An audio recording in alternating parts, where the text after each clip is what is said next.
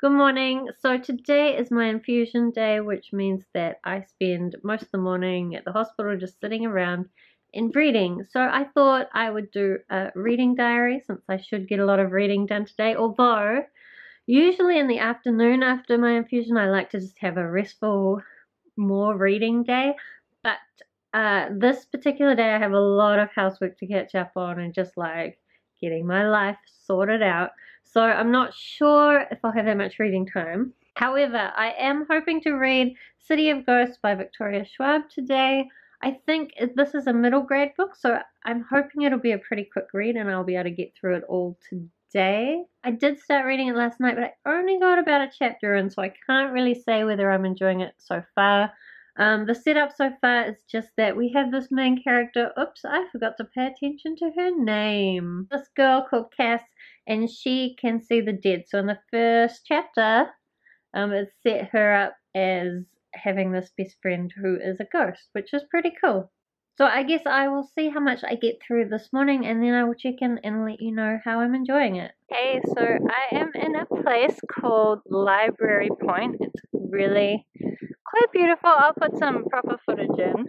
You'll notice me looking over there. So Library Point is kind of uh, on the far side of this dog and cycle park, which is empty at the moment because it's a weekday, so nobody's here. This is kind of in the middle of nowhere. There's a path over there, which is the only way to get over here. So if anyone comes over, I'll see them coming. And yet, and yet still, still, I feel awkward about filming in public. It's not even public.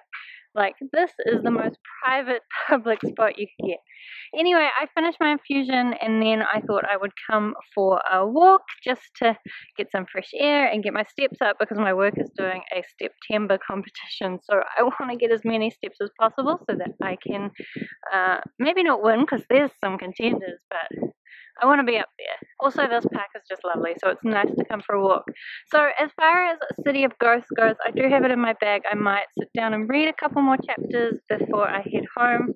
I'm actually about halfway through, which is pretty good. I was able to get through it really quickly. I don't find it like it's quite a slow paced book, and there's quite a lot of character building and world building, but it's not difficult to get through despite all that.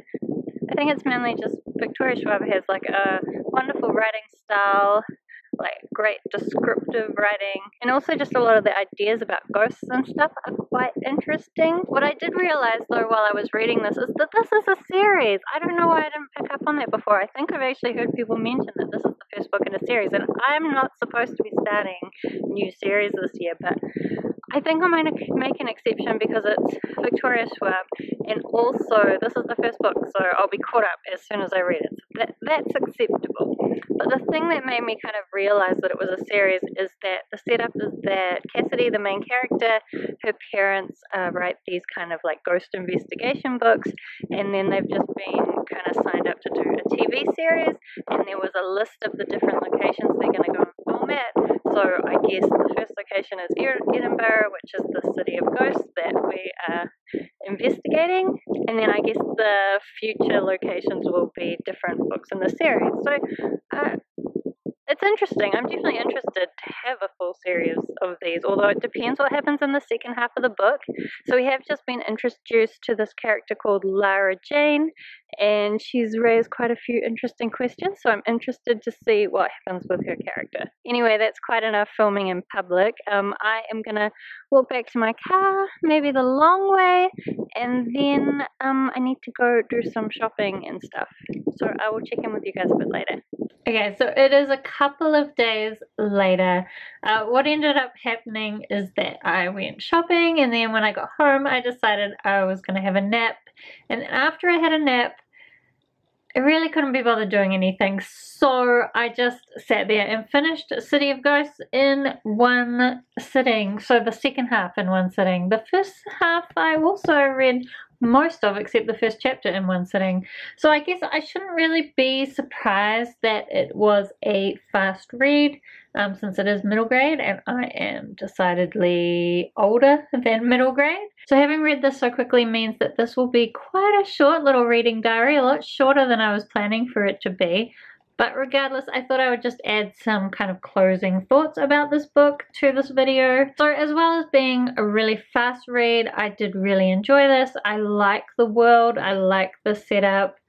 I thought the friendship between our main character Cassidy and her ghost friend Jacob was really fun and enjoyable to read about. And I do think people who come from Edinburgh will probably get like a, a different experience of this book or people who've been to Edinburgh, which I haven't, but obviously it's all set in Edinburgh and there's quite a lot of references to different places there.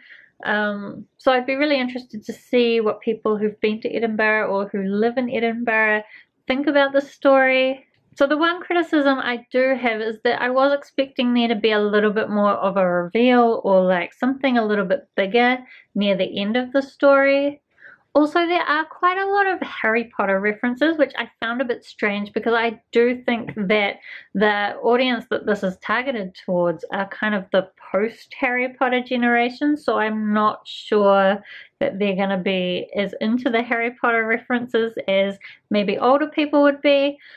But at the same time, like the plot is probably a bit simple for most older people, so it's a little bit weird. There was actually at one point a part where I thought it was all going to make sense, so something happened that made me think there was going to end up being a connection between Cassidy and kind of the bad guy, the monster of this story. And I thought they would be quite similar to the connection between Harry Potter and Voldemort.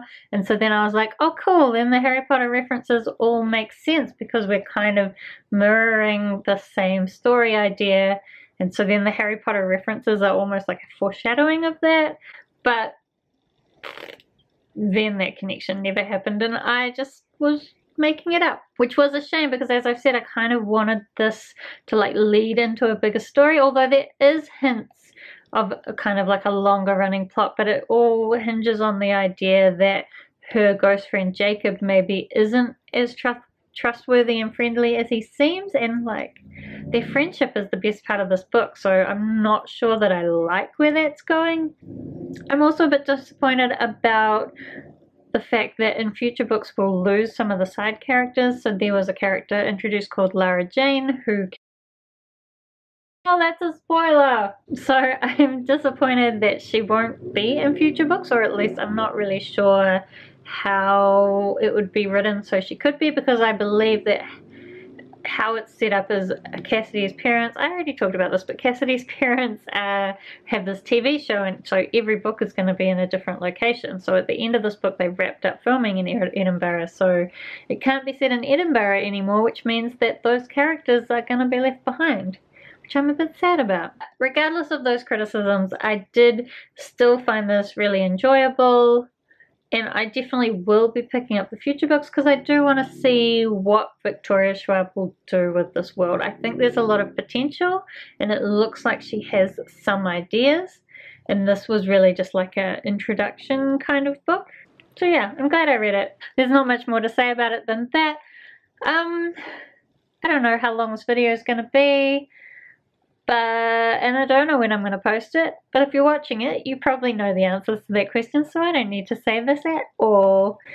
Anyway so if you have read City of Ghosts then I'd love to talk to you about what you thought about it down in the comments so let me know. Um, thank you so much for watching and I will see you next time